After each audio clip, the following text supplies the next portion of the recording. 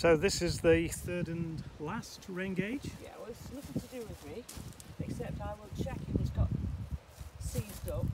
Um, this is uh, the Environment Agency's automatic, Right.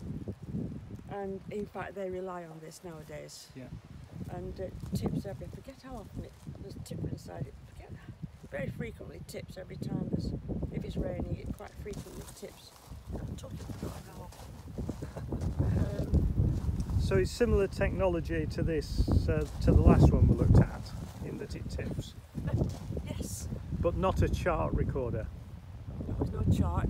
No. But what it does, what it should do, and should do, and does, it's wireless. right. Opera, so it sends signals. How clever is that? All the way to. Uh, Russia. I think, I think it goes to um, what summit they have their headquarters there. Um, as it happened, um, because of the COVID Yeah. uh, hold-ups and stuff, um, they it happened. I don't know. It, you know, the, uh, one of the uh, chaps came the other day uh, to look at it, and sometimes it, it it doesn't match mine.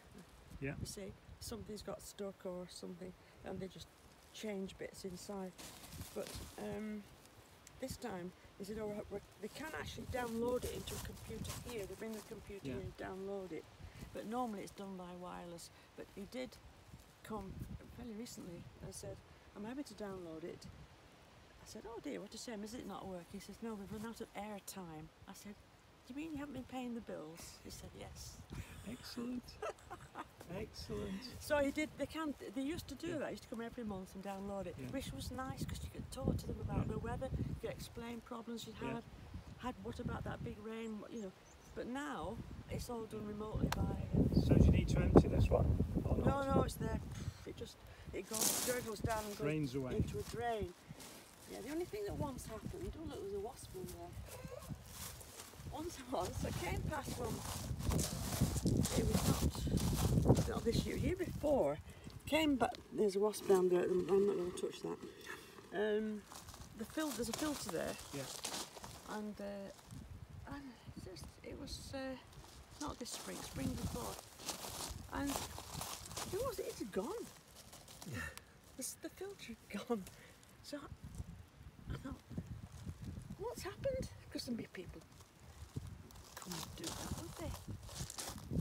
And then, then I realised it's the jackdaws. All right. Yeah. Uh, so I had to ring them I said, oh, your filter's been stolen. Must have been stolen by a You had to ring the jackdaws. Yeah. Have you got it in your nest? So how much do they pay you a year, Muriel, to It's about look 40, after the weather? 40 pounds. Forty pounds.